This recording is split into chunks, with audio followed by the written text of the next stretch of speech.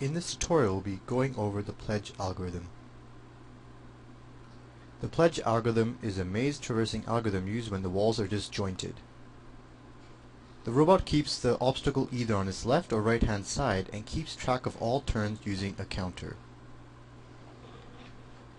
Increment the counter and left turns decrement the counter. When the counter reaches zero, the robot has traversed the obstacle and it continues on its pathway towards the beacon. Let's look at some examples of the pledge algorithm in action.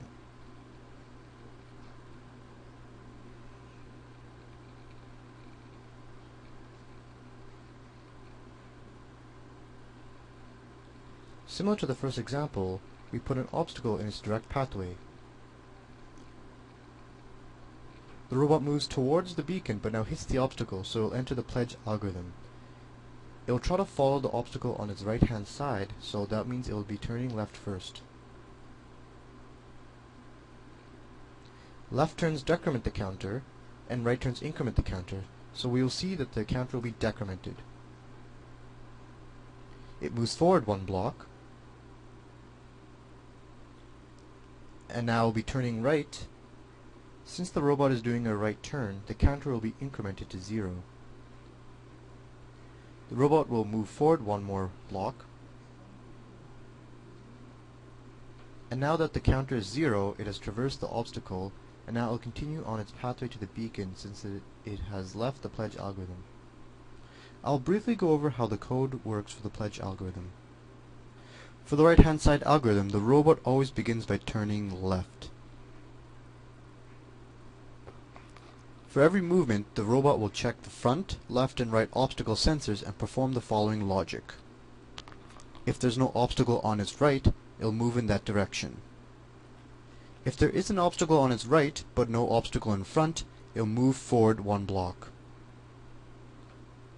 If there are obstacles on its right and in front, it'll turn left. The robot will continue this logic at every step, counting each turn until the counter reaches zero again. Let's look at a more complicated example so we can understand the code more clearly. In this example we have placed more obstacles to see how the robot will react. The robot will begin by hitting the first obstacle. The robot will enter the right hand side pledge algorithm meaning it will try to keep the obstacle on its right hand side so it will begin by turning left. This decrements the counter to negative 1. When the robot checks its obstacle sensors, it sees there's an obstacle on its right and also in front, making the making the robot turn left, and which also decrements the counter to negative 2.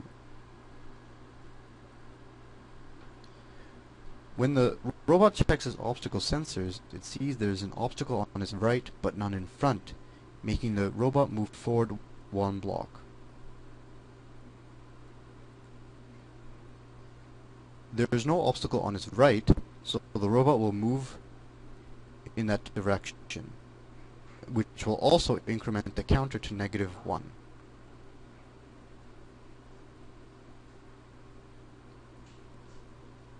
The robot checks its obstacle sensors and sees there's an obstacle on its right but none in front, so move forward one block.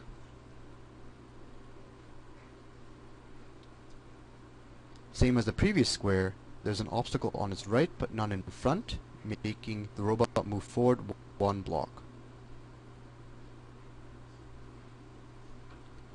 So now the robot sees there's no obstacle on its right, so it will turn right and move forward in that direction, one more block, which increments the counter to zero.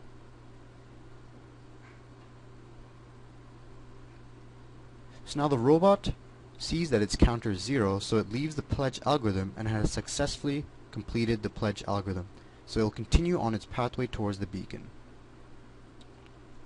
Note that in this tutorial, the right-hand side algorithm was described. For left-hand side algorithm, all right turns are left turns instead, and vice versa. The robot will decide whether to do a right-hand side or a left-hand side, depending on the scenario. You may be asking yourself what happens when the robot has completed the pledge algorithm since the counter is zero, but there's still an obstacle in front of it. Now if we take our previous example, let's say we put an obstacle in front of it. now that there's an obstacle in front of it, the robot cannot go forward towards the beacon like it would otherwise try to. So now, what would it do in this case? It would actually re-enter the pledge algorithm, and it would try to traverse the obstacle like it previously did. That concludes this tutorial about the pledge algorithm. I hope you enjoyed it, and thank you for watching.